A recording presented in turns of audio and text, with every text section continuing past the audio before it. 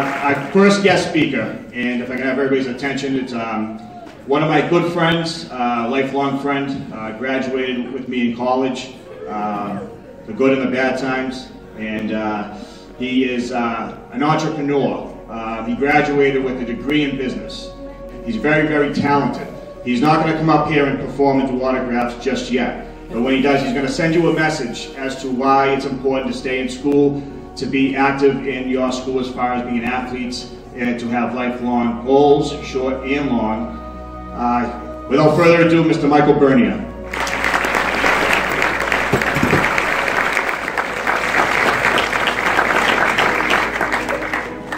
Good evening, beautiful people. My name is Michael Bernier. It's my pleasure to be here before you tonight. About a week ago, I got a text message from Shawn Thornton here asking me if I'd come out and speak at tonight's event. I was honored, I accepted it, and now here I am. I want to start off by saying this first. I recognize that I am in no way any greater than any man or woman in this room. We are all the same. We're all brothers and sisters, and we all have the same freedom to achieve greatness. I was born at the Lawrence General Hospital. I went to schools here in Lawrence. I then went to college at Bridgewater State University where I received a degree in management science with a concentration in marketing. After college, I found myself working at a publishing company in Ipswich, Massachusetts.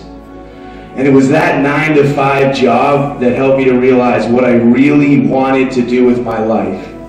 And after two years working there, I parked my car I started to walk down the hill to the front doors of the building and I broke down into tears.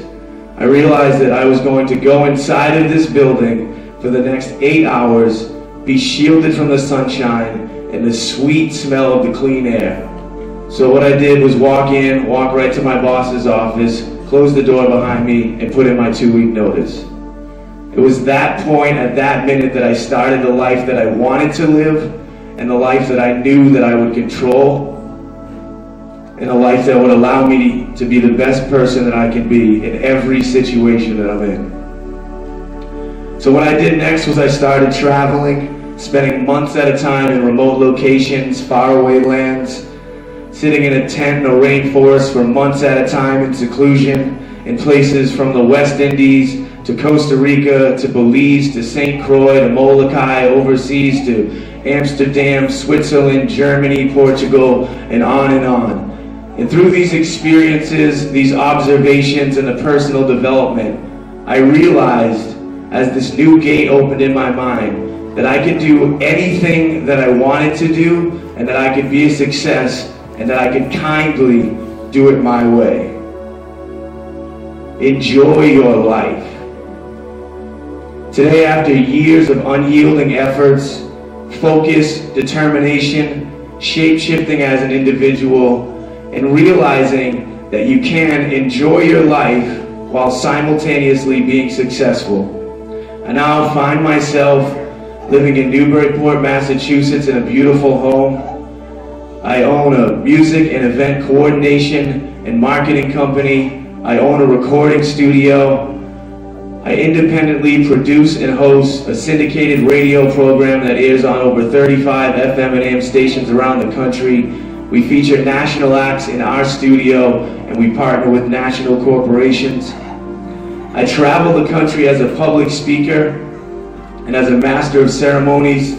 I speak in front of over 100,000 people a year. Tonight I'll leave here, I'll get on an aeroplane, and I'll fly to the Florida Keys I'll host two large events this week on the beach under the sunshine. I also perform as many as 150 shows a year with my band Freevolt as a solo artist. And the most important thing I'll say is that at some point I realized that it is an option to do what I want to do with my life. It is a reality, and now I'm happy. Did everything happen just because I got to work that day and quit my job and said, hey, I'm going to start my own business? No. Everything happened because I worked hard. Worked harder than I had ever worked before. The clock was ticking. there was work to be done, if there was opportunities to pursue, I was there and I was determined.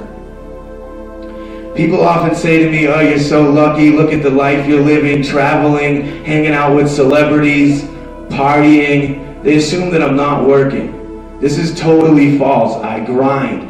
Thousands and thousands of hours go into it to put you in that position where you're on stage in front of thousands of people, where you're hanging out with superstars. It's because you hustle hard and you work and you find that common theme amongst those people.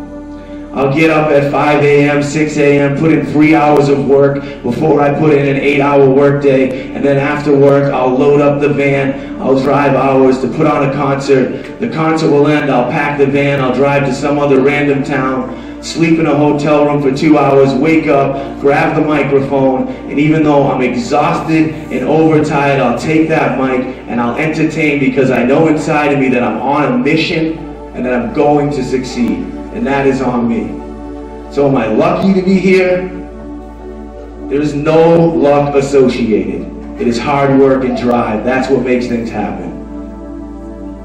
Today, through my words, I want to make one thing clear to everyone here.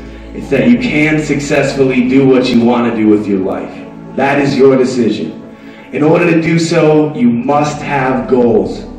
Many people will roam throughout this life without goals or without ever fulfilling their goals. And that is because of one reason. It is because of fear. A fear of failure. I'll tell you this though.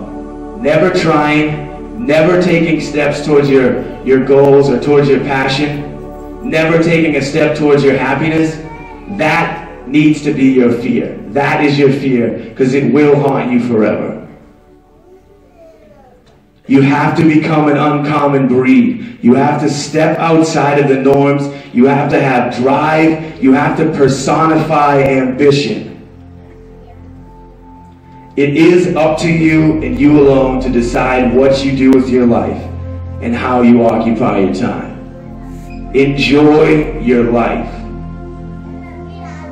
On your path to achieving your goals, there will be resistance, there will be strong opposition, there will be haters, but opportunity will still lie before you. It is up to you.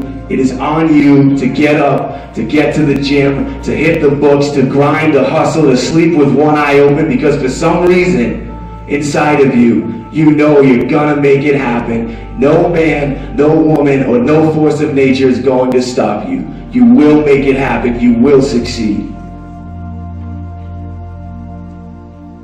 Do have faith in yourself. Have faith in yourself. Your family, your friends, they'll try to talk you out of something that you're passionate about. Something that you know you can do, but they'll try to talk you out of it because they perceive it as unrealistic. I'm here to tell you this. Do not listen to them. Do not listen. Pursue your dream because you know you can make it happen and no one knows what's going on inside of you. You set your goal and you make it happen. There will be naysayers, there will be doubters, there will be antagonists, but you take those people and you turn them into the fuel that will make your spark turn into a flame and into a wildfire.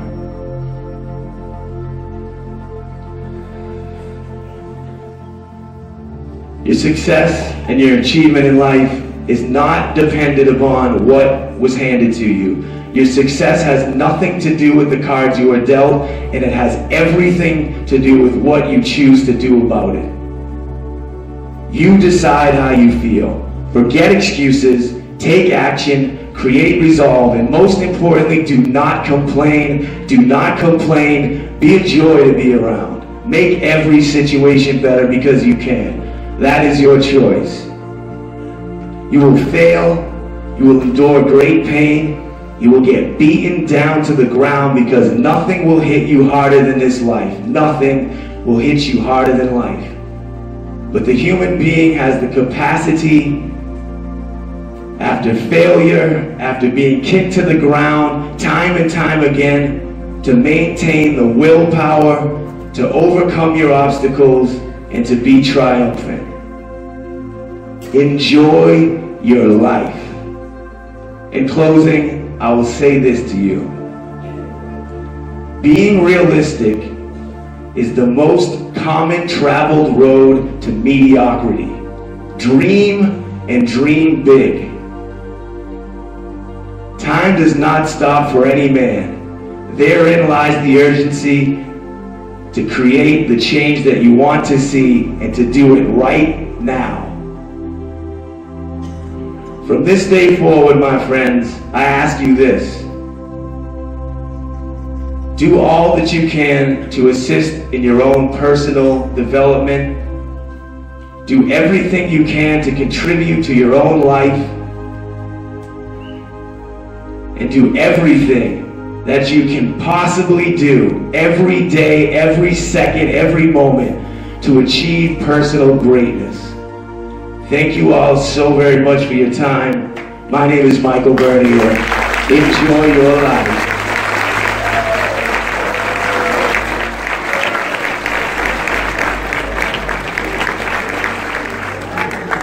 Thank you, Michael. Obviously,